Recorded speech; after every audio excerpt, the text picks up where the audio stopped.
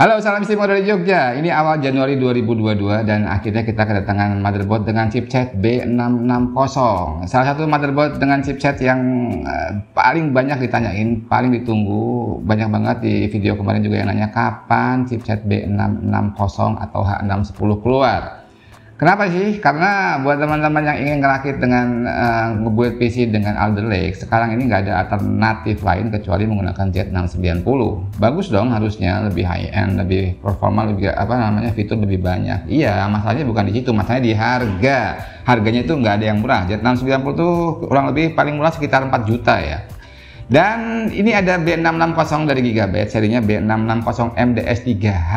Ya, DS3H harusnya kalian udah pada paham kalau ini adalah seri entry levelnya dari Gigabyte dan harusnya harganya terjangkau. Ya, harganya harusnya di market di antara di angka 2,2 sampai 2,3 juta dan ini harus jadi pasangan yang pas buat teman-teman yang ingin ngerakit ngebuild PC dengan prosesor Alder Lake yang mainstream. 12400, 12100 nanti kalau udah keluar harusnya jadi pasangan yang serasi dan cocok terutama di sisi harga ya. Prosesornya murah motherboardnya juga terjangkau. Nggak usah lama-lama kita akan buka bentuknya kayak gini nggak ada yang istimewa ya. DS3H warna temanya kayak gini terus. Hitam coklat chipset apa pun kayak gini lah kardusnya. Setahu saya gitu. Jangan berharap ada yang istimewa di dalamnya karena ini motherboard entry level. Kita buka pertama keluarnya SATA kabel 2 biji motherboardnya tadi kan dari seri M nya jadi hampir dipastikan ini micro ATX form faktornya. Ya. 4 slot memori oke. Okay. desain VRM nya 6 plus 3 plus 1 hybrid VRM ada pendingin VRM yang bagian atasnya ada pendingin NVMe slot 16 kali PCI Express PCI Express 1 kali 2 back panelnya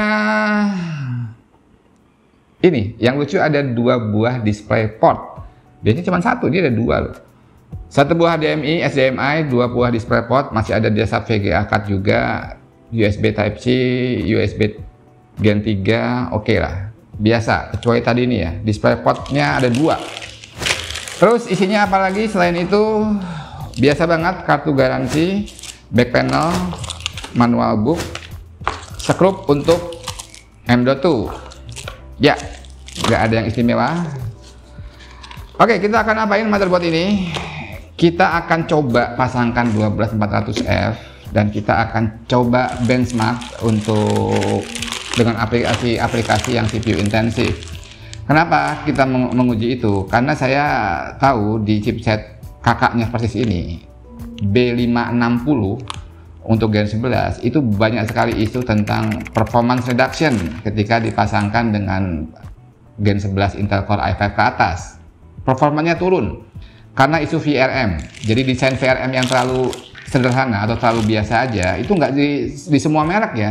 Asus MSI Gigabyte ASRock sama. Untuk B560 yang entry level dengan desain VRM yang terlalu simple, mungkin pasnya juga terlalu sedikit, ketika dibebani dengan Core i5 ke atas, itu performance reductionnya bisa sampai 30-40%. Kenapa? Karena mungkin isu VRM yang nggak sanggup mensuplai dayanya atau isu VRM-nya overheating sehingga clocknya ketika di di apa dibanding dengan software-software program-program yang CPU intensif itu turun sampai 1 GHz lebih. Misalnya harusnya 4 GB jalannya ketika sudah beberapa lama beberapa saat dia akan turun sampai ke 3 GB dan ini menyebabkan performance reduction sampai ke 30 sampai 40% dan itu masalah buat kami Semoga aja di B660 yang notabene adalah penerusnya, chipset penerusnya, dan Core i5 yang entry level ini harusnya harapan kita ini tidak terjadi, tidak ada isu-isu seperti itu. Sehingga teman-teman benar-benar punya alternatif motherboard yang terjangkau bebas isu yang bisa disandingkan dengan Alder Lake yang cukup terjangkau juga sehingga teman-teman punya build PC yang powerful dan terjangkau. Gak usah lama-lama kita akan coba dan kita akan bandingkan dengan hasil benchmark kita di video yang lalu, ketika si processor ini kita pasangkan dengan motherboard Z690, apakah ada perbedaan performa yang signifikan atau tidak? Kita akan lihat di sini.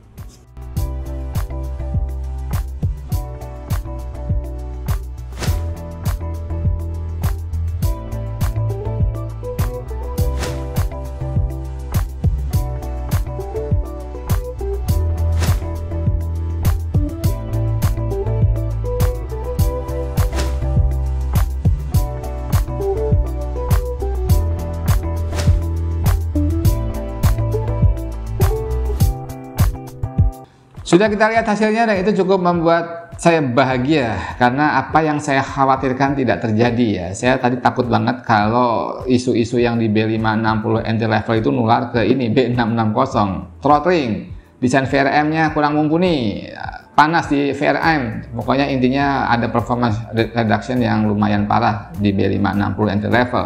Tapi enggak, ini normal, kencangnya sama tidak ada penurunan clock prosesor, tidak ada performance reduction. Kita bandingkan dengan ketika kita pasangkan si uh, prosesor ini dengan motherboard Z690, komponen lain sama, skornya kita lihat tidak ada perbedaan. Beda dikit-dikikit kita generalisir sama.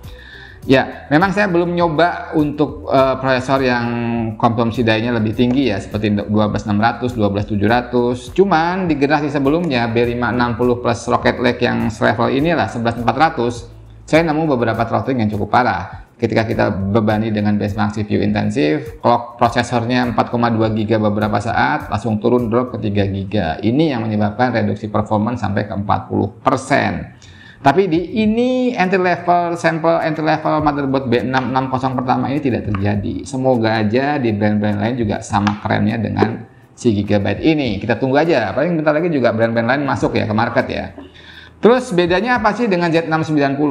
Secara umum yang paling kelihatan di highlight itu adalah kemampuan overclocking prosesor. Kalau di B660 tidak bisa, tapi di Z690 kalau teman-teman menggunakan K-series prosesor bisa di tweaking, bisa di overclock. Tapi sudah punya kemampuan tweaking dan overclocking memori juga yang B660. Terus lainnya perbedaannya ada di jumlah DMI, direct media interface-nya lebih sedikit, PCI Express LAN, USB, SATA yang menurut saya untuk pengguna harian itu tidak terlalu esensial ya, tapi itu juga relatif ya. Ya, apa kesimpulannya? Kesimpulannya akhirnya kita memiliki pasangan yang pas untuk underleg underleg entry level seperti 12400, 12100 yang sebentar lagi juga harusnya masuk dengan harga terjangkau dan bebas isu. Semoga juga brand-brand lain bebas isu ya, tidak ada isu throttling. Dan ini jadi sangat menarik. Pasangan ini menjadi pasangan yang susah dilawan untuk price performance-nya karena teman-teman udah lihat di mungkin di video saya sebelumnya ya tentang performance difference-nya dengan Gen 11 itu luar biasa tinggi ya. Kalau kita sudah nemu motherboard yang terjangkau, prosesor kencang terjangkau, harusnya jadi sebuah bullet PC yang performa tinggi tapi harga masih bisa masuk akal. Oke, itu aja mungkin kesimpulan yang bisa kita sampaikan pada episode kali ini. Video singkat sederhana ini semoga bisa bermanfaat, menginspirasi, menambah wawasan. Terima kasih yang sudah bersama kami Jawara Media. Terima kasih yang sudah subscribe. Yang belum subscribe, saya tunggu subscribe-nya. Sampai jumpa di video berikutnya dan salam istimewa dari Jogja.